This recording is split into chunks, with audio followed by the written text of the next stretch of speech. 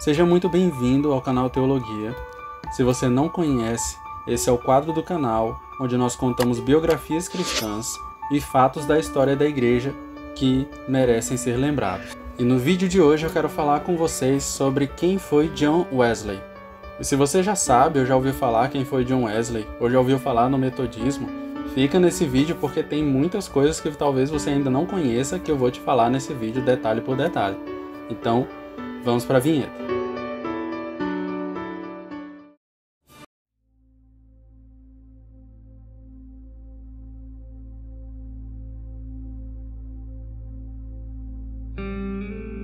A vida de um homem que, com a sua paixão por Deus, mexeu com a vida espiritual dos ingleses e com a estrutura social de seu país. John Wesley, irmãos, nasceu em 1703. A sua infância foi fortemente influenciada por sua mãe, uma mulher que era rígida e piedosa. Seu pai era um homem difícil de se agradar a sua mãe não acreditava que os desejos das crianças deviam ser subjugados e que eles deveriam ser disciplinados quando não se comportassem. John era o 14 filho. Ele teria morrido em um incêndio em Airport, Rectoria, se não tivesse sido arrancado das chamas por um vizinho. Na época, tinha sete anos e depois disso sua mãe o lembrou várias vezes que ele era um tição colhido do fogo. Mais tarde, ele teve a certeza de que tinha sido poupado por um propósito de servir a Deus. Samuel, que era o pai de John, era um erudito, que por muitos anos trabalhou em uma obra monumental sobre o livro de Jó. Um pregador severo, para não dizer implacável, uma vez que exigiu uma adúltera que andasse nas ruas em sua vergonha. Ele também forçou o casamento de uma de suas filhas depois que ela tentou fugir com um homem que não era o escolhido de seu pai. Com seu pai e sua mãe, John Wesley desenvolveu excelentes hábitos de estudo e também se acostumou com o sofrimento físico. John Wesley foi para Carthouse School em 1714 e para Christ Church College em 1720 e em 1726 foi eleito membro da Lincoln College em Oxford. Depois de ser pastor auxiliar em Worth e Lincolnshire, de 1727 a 1729, ele voltou a Oxford não apenas para continuar seus estudos, mas também para começar a viver uma vida mais devota e santa. Muitos outros jovens brilhantes tinham um currículo como o de Wesley, mas poucos tinham a sua dedicação. Ele dominava pelo menos sete idiomas, e desenvolveu uma visão verdadeiramente abrangente em todas as áreas da investigação. Quando ele voltou de World para Oxford, ele assumiu a liderança de um grupo chamado Holy Club, que era o Clube Santo, iniciado por seu irmão Charles. Lá era onde eles reforçavam a fé através do estudo das Escrituras e buscavam a santidade na vida de cada membro. O Clube Santo, irmãos, fazia muito mais do que refletir e orar. Eles iam às prisões levar a palavra de salvação aos prisioneiros, e embora eles fossem ridicularizados por seus companheiros de Oxford, de seu grupo, de uma classe social mais baixa, saíram homens que se tornaram importantes para aquele tempo, particularmente os irmãos Wesley e o famosíssimo George Whitfield. O modo de vida de John Wesley exigia jejuns periódicos e encontros regulares para estudos e autoavaliação pessoal. Somente muito tempo depois foi que ele percebeu que seu grupo seguia mais a letra do que o espírito do cristianismo. Em 1735, grandes mudanças atingiram John Wesley e Charles Wesley. O seu pai morreu e ambos foram para a colônia de Georgia, nos Estados Unidos, com a bênção e encorajamento de sua mãe. Lá foi uma prova para John, que entendeu que realmente não gostava muito dos índios e sua rigidez não era muito apreciada pelas pessoas da Georgia. Mais importante que isso foi o contato de John na sua viagem com um pequeno grupo de morávios. E se você não sabe quem são os morávios, nós temos um vídeo aqui no canal que fala quem foram os morávios e conta exatamente a história deles com detalhes. Eu vou deixar aqui na descrição. Estes homens, os, os eles cantavam hinos durante uma terrível tempestade no mar, ao mesmo tempo em que o próprio Charlie se desesperava e isso fez querer conhecer mais sobre a fé que eles demonstravam ter. Em 1737 ele retornou à Inglaterra. Devemos apreciar também, irmãos, a humildade de John Wesley, pois ele podia ser crítico bastante consigo mesmo para parar suas atividades religiosas naquele momento e pensar que era um ministro experiente demais para examinar sua falta de fé. Peter Boehler, um morável, deu-lhe a chave. Pregar a fé até que ele a tivesse, e então ele pregava a fé. John Wesley lutou com sua falta de fé até 24 de maio, uma quarta-feira em 1738, no famoso encontro de Aldersgate. Foi quando ele teve uma conversão, uma profunda e inconfundível experiência de fé. Seu coração foi estranhamente aquecido, e então seu verdadeiro trabalho começou. Como John Wesley tinha uma mente brilhante e aberta, ainda conseguia retirar os melhores recursos das melhores mentes do seu tempo. William Law, por exemplo, foi seu professor, amigo e mentor por vários anos, mas Wesley achou que um ingrediente importante estava faltando no programa de Law para uma vida devota. Os discípulos de Platão conseguiram comunicar a Wesley uma estrutura intelectual que era mais espiritual do que material, mas os hábitos mentais de Wesley estavam moldados mais pelo modelo de análise de Newton do que pelo, pelo platonismo. Os moráveis eram mais perto de uma síntese de todos os elementos que ele desejava e pôde encontrar. Ele até mesmo visitou Reinhardt para saber como sua comunidade trabalhava. Mas algo estava faltando lá como em todo lugar. E em 1740, ele e seus seguidores romperam com os morávios, mas não antes que ele tivesse aprendido a pregar sermões ao ar livre, o que veio a ser mais tarde uma parte essencial do seu ministério. John Wesley tinha 37 anos de idade quando começou a viajar e pregar. Ele frequentemente exagerava o número daqueles que vinham ouvi-lo. Muitas vezes, as mesmas pessoas que precisaram de sua ajuda eram as mesmas que mais os perseguia.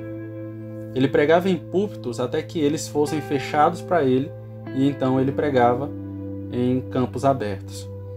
Ele pregava três vezes por dia, irmãos, começando às cinco da manhã, uma vez que os trabalhadores poderiam parar para ouvi-lo enquanto andavam para o trabalho, e algumas vezes ele andava 60 milhas, mais de 90 quilômetros por dia a cavalo. As condições do tempo não importavam. Ele fazia seu programa e o cumpria, não importava as dificuldades. Ele fugia de uma multidão zangada pulando no lago gelado, nadava para fora dele e continuava a pregar novamente. E tinha uma certa habilidade de trazer as pessoas hostis para o seu lado. Em 1741, foi para Gales do Sul, para o norte da Inglaterra em 1742, Irlanda em 1747 e Escócia em 1751. No total, foi à Irlanda 42 vezes e à Escócia 22 vezes. Ele retornou a algumas cidades várias vezes. Houve ocasião em que ele retornava anos depois de sua última visita e registrava que a pequena sociedade que ele ajudara ainda estava intacta e fiel. Ele examinava cada membro de cada sociedade pessoalmente para buscar o crescimento espiritual e de fé. E aquelas sociedades então formadas proviam a organização local para o seu movimento. Agora, o que Wesley pregava? Wesley pregava santidade, honestidade, salvação, boas relações familiares e vários outros temas.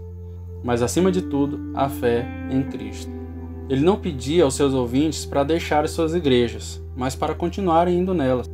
Ele lhes deu o refrigério espiritual que eles não achavam. Quando suas décadas de provação produziram décadas de triunfo, as multidões aumentaram.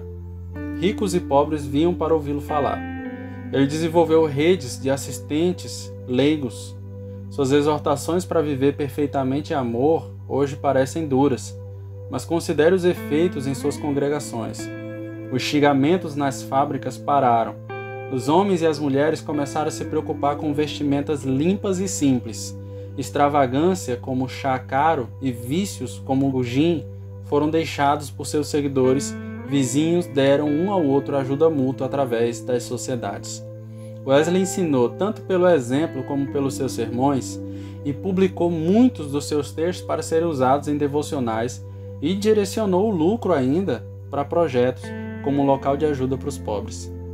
Sua vida pessoal estava além da reprovação, ele traduziu hinos, interpretou as escrituras, escreveu centenas de cartas, discipulou centenas de homens e mulheres e manteve em seus diários um registro de energia investida que dificilmente tem um rival na história ocidental. Sua maneira de falar na linguagem do homem comum teve um impacto imensurável no surgimento do inglês moderno. Assim como os hinos de Charles Wesley tiveram um grande impacto na música com suas muitas canções, sem mencionar a poesia da subsequente era romântica. Mas o impacto dos Wesleys nas classes mais baixas foi além de afetar seus hábitos de vida e modo de falar. John Wesley proveu uma estrutura religiosa que era local e pessoal, bem como fortemente moral. Sua teologia não retirava a liberdade e o direito de ninguém, pois qualquer um podia achar a graça de Deus para resistir ao diabo e ser salvo, se tão somente buscasse e recebesse.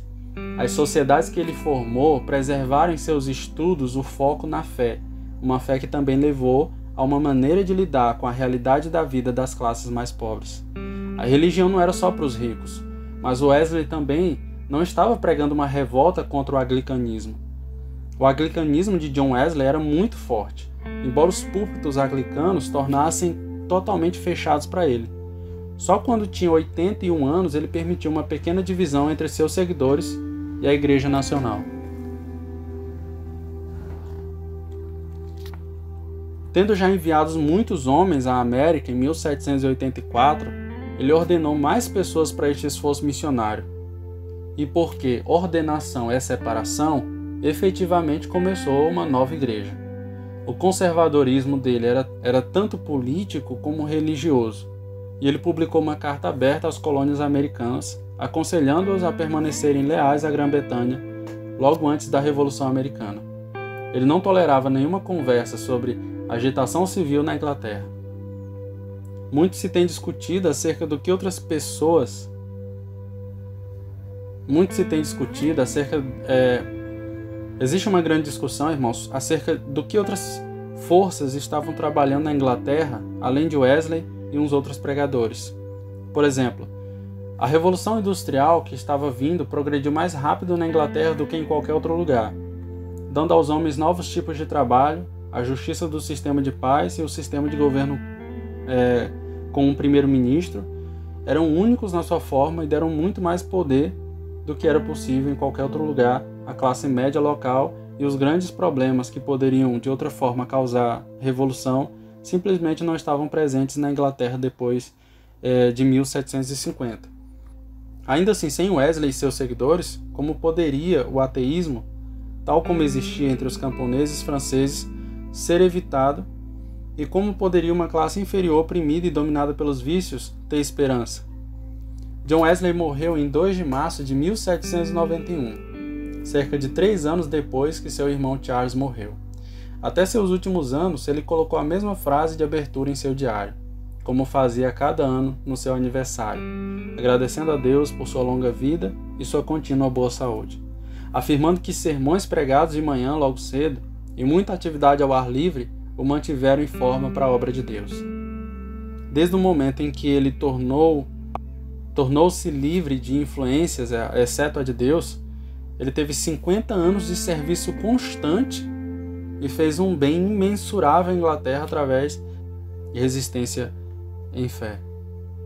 Seu legado não se limitou ao século ou país, mas sobrevive até hoje na fé de milhões em várias igrejas ao redor do mundo.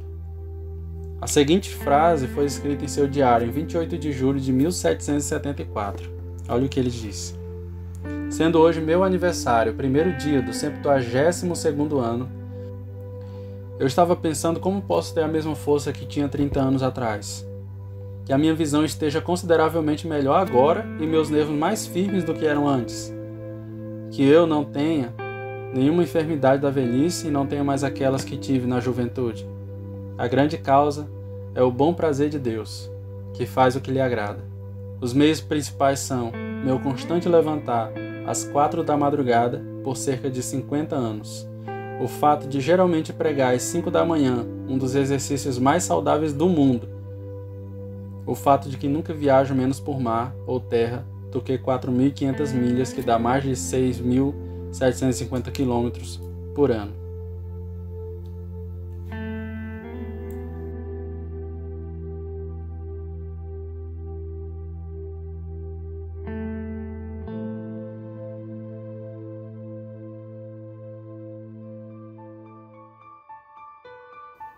E aí, gostou do vídeo?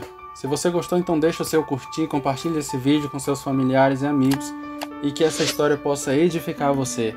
Tem outros pregadores, outras histórias, biografias da história da igreja aqui no canal também, você pode acompanhar os outros vídeos. Ah, e apareceu uma sugestão agora de um outro vídeo do canal. Eu gostaria que você assistisse também porque está muito bom. Valeu e até mais.